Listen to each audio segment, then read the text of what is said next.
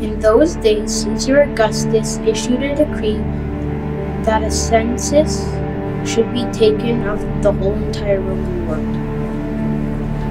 This was the first census that took place while Quirinius was governor of Syria, and everyone went to their own town to register. Joseph also went up from the town of Nazareth in Galilee to Judea to Bethlehem, the town of David, because he belonged to the house and line of David. He went there to register with Mary, who was pledged to be married to him and was expecting a child.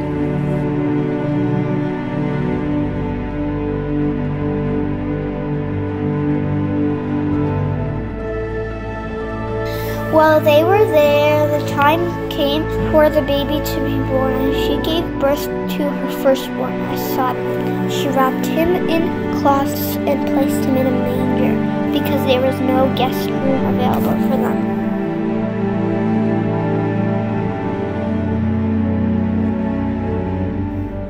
And there were shepherds living out in the fields nearby, keeping watch over their flocks at night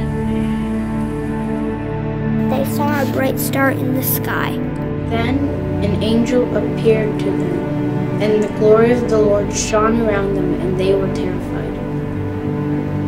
But the angel said to them, Do not be afraid. I bring you good news that will cause great joy for all the people. Today, in the town of David, a Savior has been born to you. He is the Messiah, the Lord. This will be a sign to you you will find the baby wrapped in clothes and lying in a manger. Suddenly a great company of the heavenly host appeared with the angel, praising God and saying, Angels we have heard on high, sweetly singing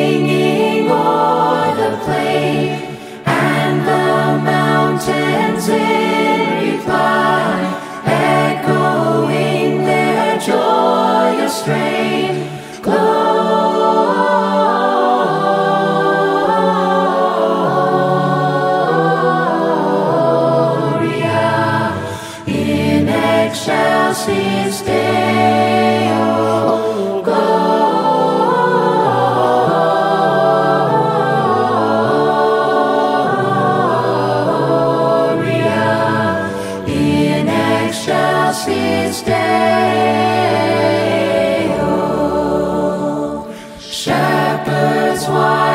This jubilee?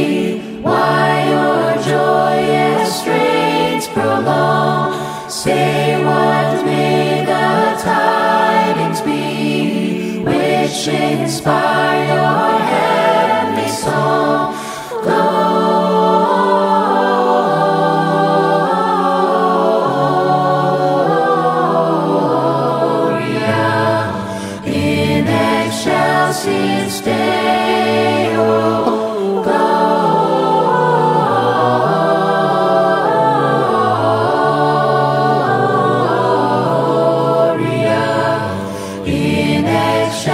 excelsis Deo.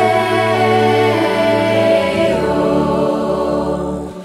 Come to Bethlehem and see him whose birth the angels sing. Come